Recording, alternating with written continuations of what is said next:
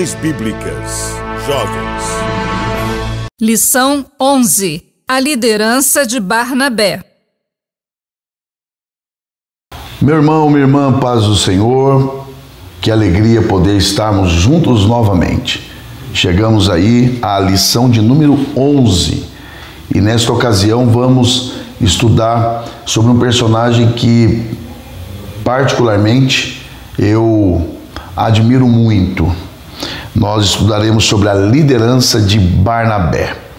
Uh, em termos de considerações iniciais, eu diria que é importante você destacar aos seus alunos em classe, em sala de aula, da escassez que existe é, de material a respeito de Barnabé. Por que eu sugiro isso? Uh, primeiro, para que justifique, em certa medida, é, a dificuldade que se tem em estudar de forma mais aprofundada a respeito desse personagem. Segundo, também como incentivo para que é, os seus alunos pesquisem e, quem sabe, escrevam também a respeito é, de Barnabé. Então, eu sugiro que você comece a lição é, trazendo essa informação a eles. Além disso, eu destacaria também que você traga aos seus alunos a importância do papel que Barnabé desempenhou na igreja é, primitiva.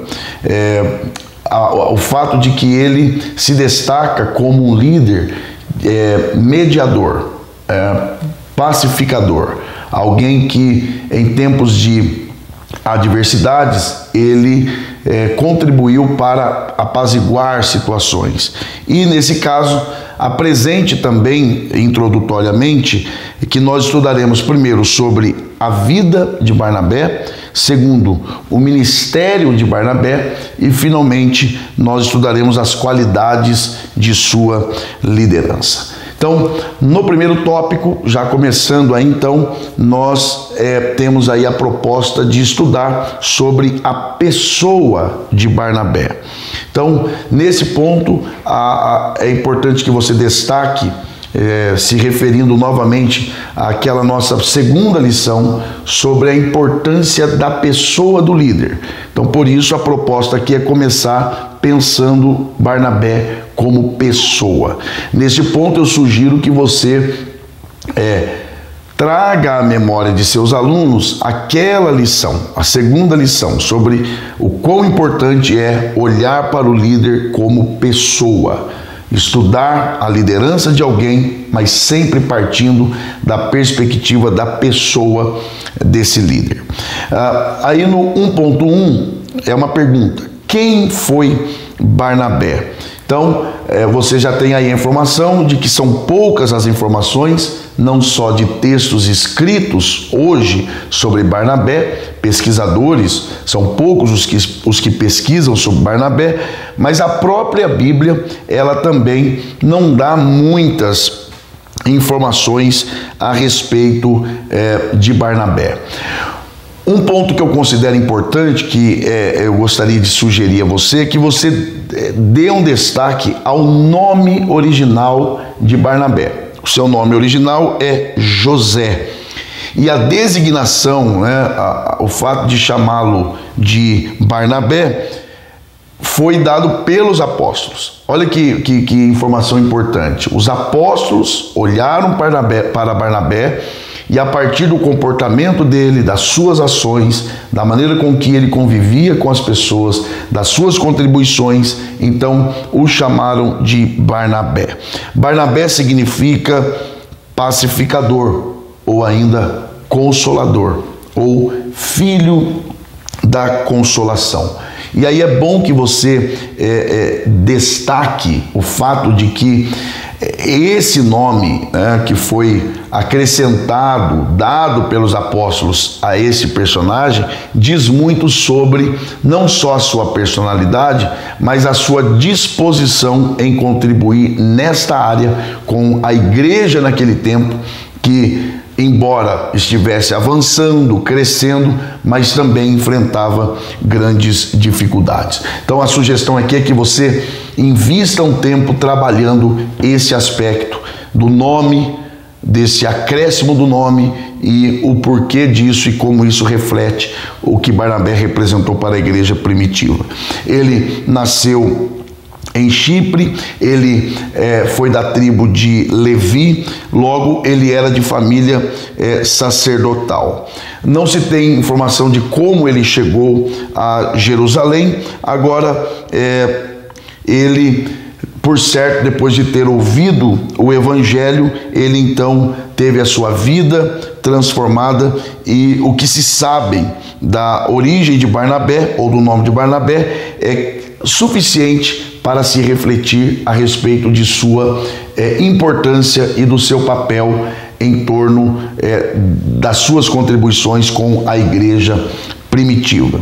No 1.2, você tem aí Barnabé como um homem generoso. É, porque você encontra Barnabé é, vendendo uma propriedade e entregando-a aos pés dos apóstolos. Então veja que é, Barnabé ele se apresenta também como um homem generoso. Então é, é importante que você trabalhe também o contraste que, que é apresentado aí na lição entre Judas Iscariotes e Barnabé.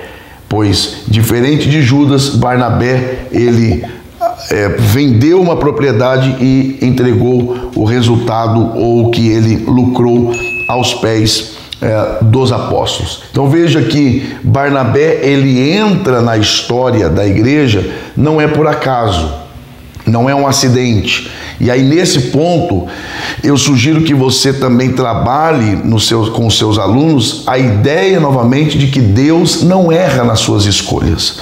A, a, a, a generosidade de Barnabé também contribuiu para que ele é, assumisse essa posição de destaque, de confiança, de confiabilidade entre os apóstolos. No 1.3 você tem aí Barnabé como um homem fiel.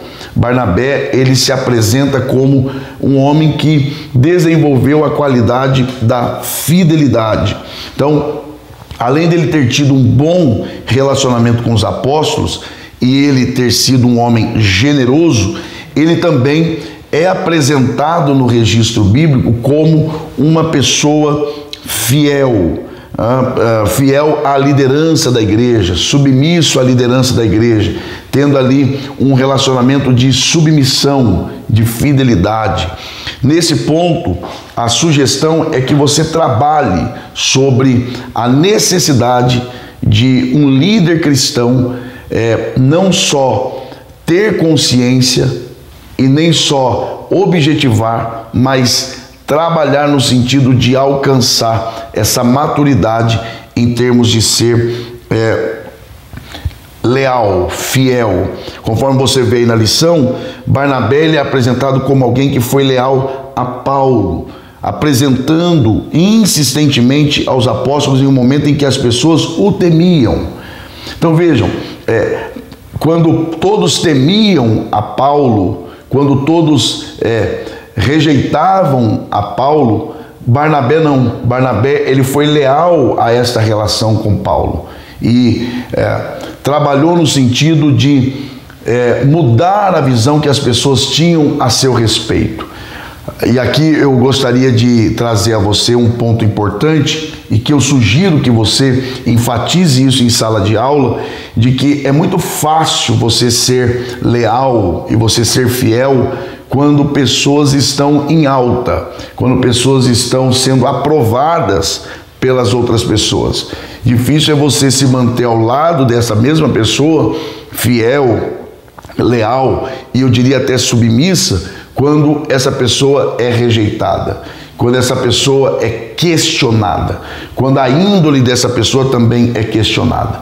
Barnabé se posicionou ao lado de Paulo quando Paulo foi rejeitado, quando desconfiavam de Paulo. Então, a minha sugestão é que você trabalhe no sentido de estudar esse ponto, essa relação de fidelidade que Barnabé estabeleceu com Paulo e você traga isso para os seus alunos. Não só isso, incentive os seus alunos a desenvolverem neles a qualidade da fidelidade. E não só isso, destaque também que ah, o líder cristão, ele é chamado a ser fiel. Lembrando aquilo que Paulo mesmo escreveu na primeira carta aos Coríntios, capítulo 4. Conforme nós já temos destacado em lições anteriores, o que se espera de um ministro, de um dispenseiro dos mistérios de Deus, é que ele se ache fiel. No tópico de número 2, você tem aí a, a liderança de Barnabé. Então, aqui depois de nós termos trabalhado a pessoa, a personalidade né, estrutural de Barnabé, aqui você tem Barnabé como líder. Então, em primeiro lugar, você tem aí Barnabé como um líder é, experiente. Você tem a, a, sua experiência demonstrada na maneira como ele conduziu Paulo para ser introduzido na igreja. Então, ele mostra ali uma habilidade é, considerável na maneira com que ele conduz Paulo, na maneira com que ele insere Paulo, até mesmo na forma que ele é, traz para si a responsabilidade de atrelar a sua imagem à imagem é, de Paulo. E ele também é apresentado como um líder que tem maturidade espiritual e emocional. E conforme aí na, na lição, isso é apresentado, ele é apresentado como um cristão verdadeiramente convertido, porque ele abre mão de um bem material em benefício é, da igreja.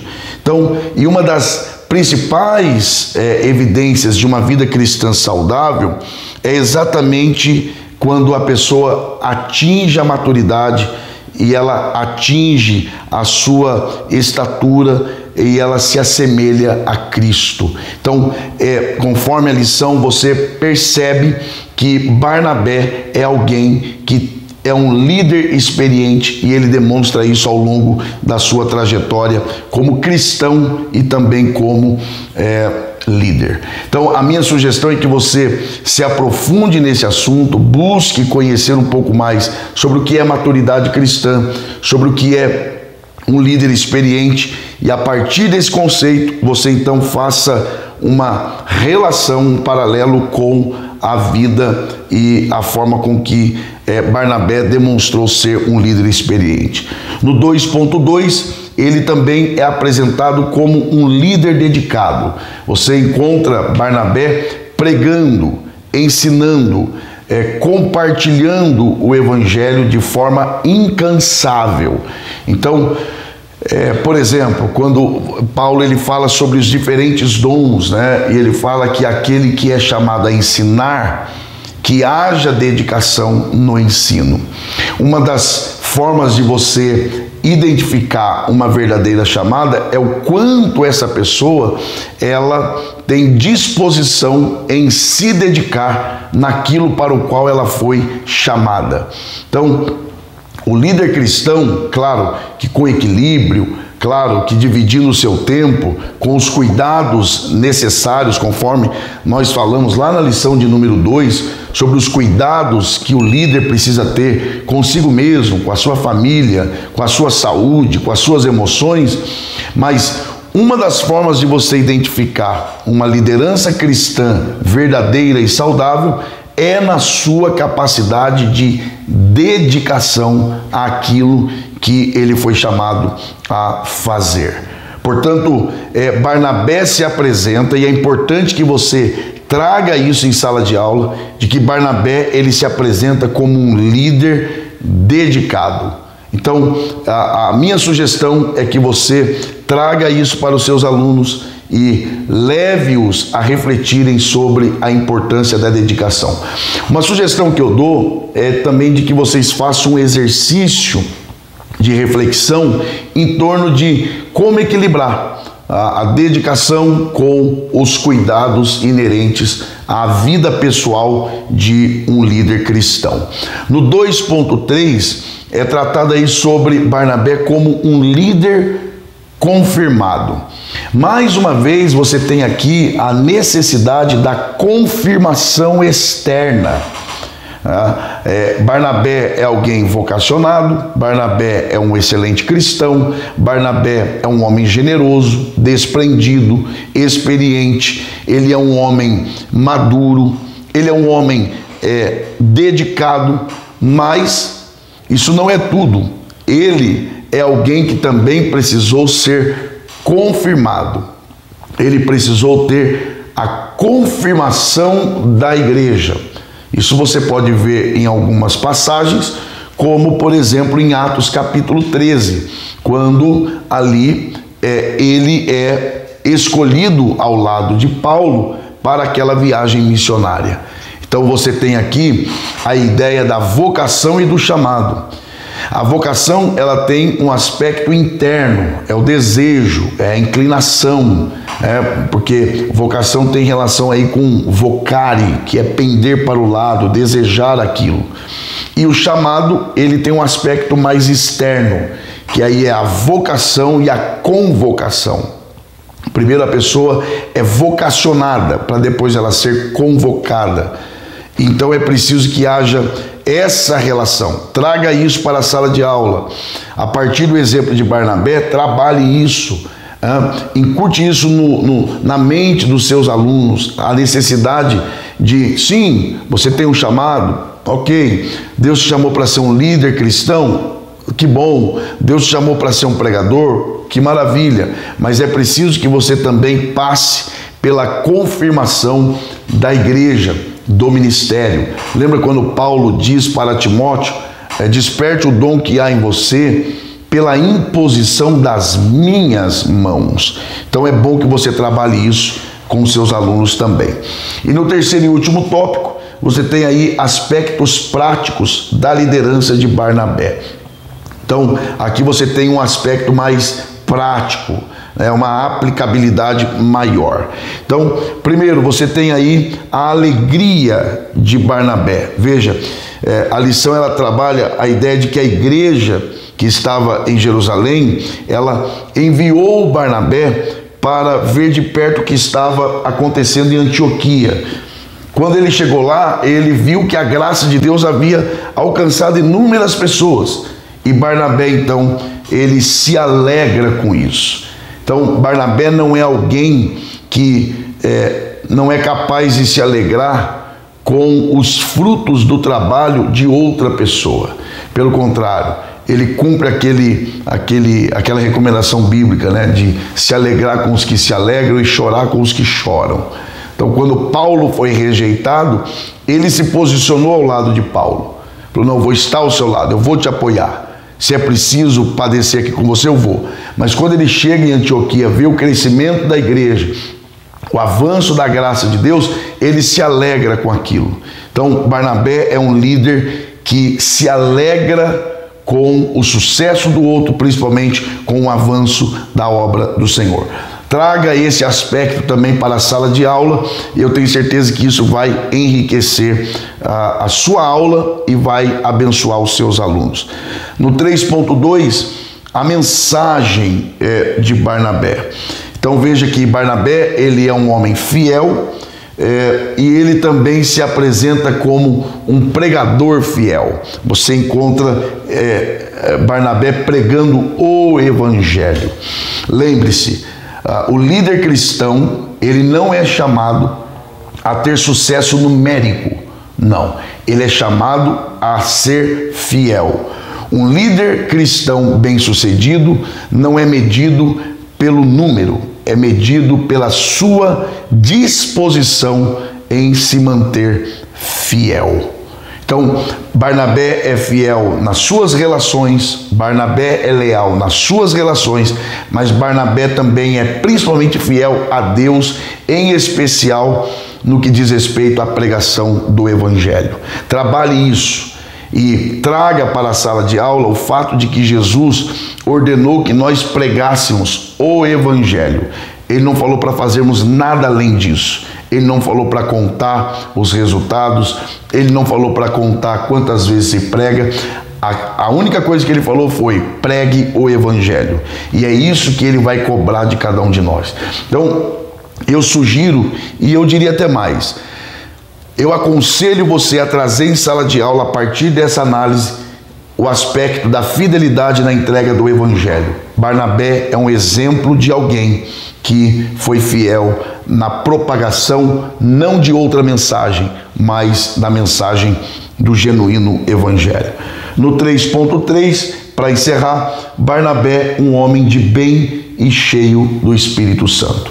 Então, para finalizar, para coroar, para selar a, a, a, análise sobre esse personagem extraordinário do Novo Testamento, ele é também um homem de bem, ele demonstra isso, né, porque é, ele protegeu a, a Paulo quando todos rejeitaram, ele é um homem generoso, ele também é aquele que se posicionou ao lado de João Marcos, né, porque é, João Marcos está sofrendo exatamente o que Paulo sofreu lá atrás, mas Barnabé se posiciona ao seu lado. Então ele é um homem de bem, ele é um homem que faz o bem, mas ele também é um homem apresentado como cheio do Espírito Santo. E aí, pegando o caminho inverso, todas essas qualidades de Barnabé só foram possíveis porque ele foi um homem cheio do Espírito Santo. Traga essa reflexão para dentro de sala de aula e coroe essa lição incentivando os seus alunos, a sua classe, a buscar ser ou ter uma vida cheia do Espírito Santo. Deus te abençoe, que o Senhor levante líderes da qualidade de Barnabé para o benefício da igreja, o avanço da obra de Deus e a salvação dos perdidos. Que Deus abençoe, um forte abraço e até a próxima lição, se Deus quiser.